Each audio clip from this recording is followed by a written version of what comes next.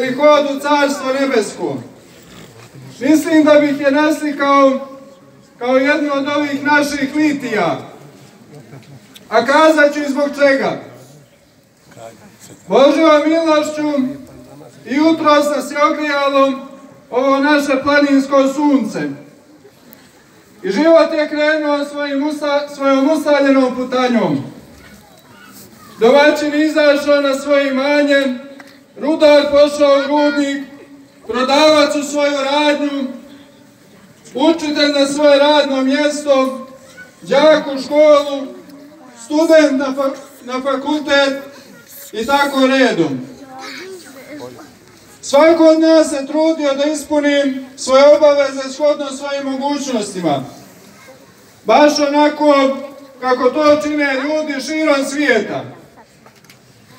Međutim, svi ti ljudi razne životne dobi, raznih karaktera, raznih profesija i interesovanja, raznog društvenog položaja u određenom trenutku ostavljaju svoj dom, sve svoje poslove, uzimaju ikonu svoje krsne slave i zajedno sa rođacima, kumovima, susjedima i prijateljima odlaze u Litiju. I kao što je bogataš ostavio svoje bogatstvo, tako i siromak ostavio svoje siromaštvo. Hode jedan pored drugog, samo sa ikonama u ruci, hode ka svetinji Božijoj. I tako kreću rijeke naroda i sa istoka i zapada, i sa sjevera i juga, da se sliju i sjedine oko Božije svetinje. Međutim, sve rijeke teku nizvodno, a ova naša rijeka ide uzvodno ka Bogu, savlađujući prepreke i uzvišenja.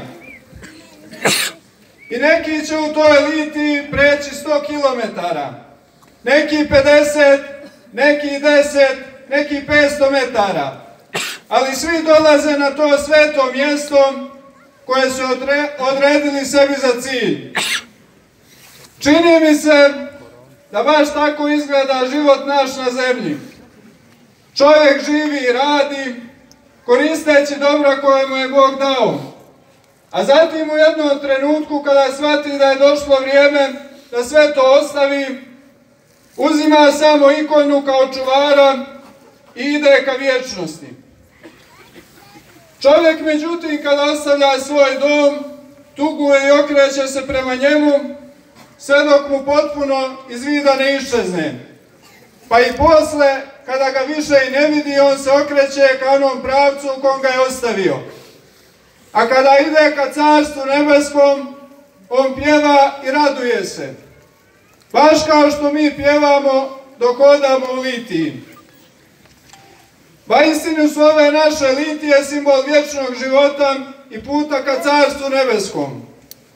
Je narod uzima u njima učešća svojom slobodnom voljom, ne iz prinude ili materijalne koristi.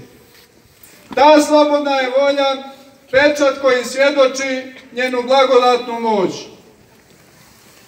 Ovih dana čuju se najave progona iz Crne Gore, sveštenstva i monaštva koji nemaju crnogorsko državljanstvo. Ne uvažavajući njihov trud i rad na obnovi naših svetinja i duhovnog života u Crnoj Gori. Nisu međutim rekli sa kojim ciljem to čine i zašto baš sada. Zašto nisu reagovali ranije, nego baš u ovom trenutku. Ako im je cilj da se obračunaju sa pravoslavnim sveštenstvom, Trebalo bi da znaju da sve dok ima vjernog naroda bit će i sveštenika. Ne damo svetine! Ne damo svetine! Ne damo